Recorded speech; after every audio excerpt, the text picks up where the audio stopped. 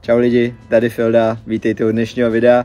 A dneska je tu den, o kterém jsem nikdy nečekal, že nastane v mém životě a už vůbec by mě nenapadlo, že pouze po půl roku natáčení na YouTube. Přišel mi YouTube Silver Button za 100 000 odběratelů. V první řadě bych vám chtěl samozřejmě extrémně moc poděkovat za veškerou podporu, za veškerou sledovanost, moc si toho vážím, děkuju moc. Každopádně udělal jsem těch 100 000 odběratelů za necelý půl rok s tím, že jsem to udělal na shortech, což je krátký formát videí, jak máte třeba TikTok. Přijde mi to trošku nefer, že jsou tu jiní tvůrci, kteří tvoří prostě normální YouTubeový videa v YouTubeovém formátu, ale bohužel nebo možná i pro mě bohu dík, je tu tahle varianta shortu, ale když to tu mám takhle před sebou, tak je to pro mě aspoň takovou motivací, že bych konečně mohl začít tvořit dlouhý YouTubeový videa, takže se máte určitě na co těšit, protože přijdu s normálníma videama. No nic, jdem to otevřít. Jsem napnutý jak kšandy, jakože nesmyslně. Splnění dětského snu. Zatím ho nevidím. Zatím je tu molitan jenom. Nic, jdu se na to podívat. No to bokem. Kamo, to je crazy. To je nesmysl úplnej.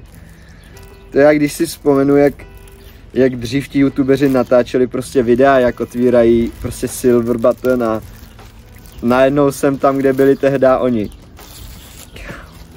To je nesmysl.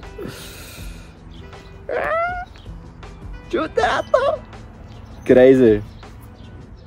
On je škráblej. Já mám škráblej button. Nemyslíš, že se to dá někde reklamovat? Mohlo by. Já mám, čumte na to. Já nevím, jestli to tam jde vidět.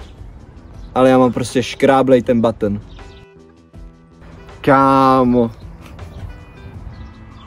A ta pryš? Tak ta smrdí jak pytel srat. Jako je fakt crazy, že jsou tu lidi, kteří to prostě hrotí 8 let. Pak přijde debílek jako já a má to za půl roku.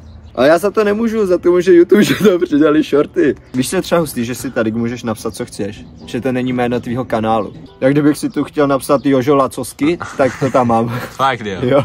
Možná jsem první československý shorter, který dosáhl 100 000 odběratelů. Nejsem si jistý, jestli tomu tak je, byl bych moc rád, kdybyste mi dali vědět do komentáře, jestli už někdo čistě na shortech udělal 100 000 odběratelů.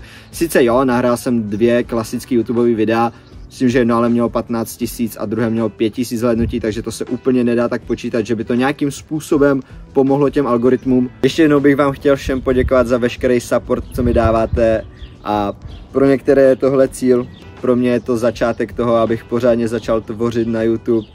A jak jsem už jednou říkal, máte se na co těšit, dlouhý YouTubeový videa budou přicházet. Děkuju moc, mějte se krásně a vidíme se u příštího videa. Ciao.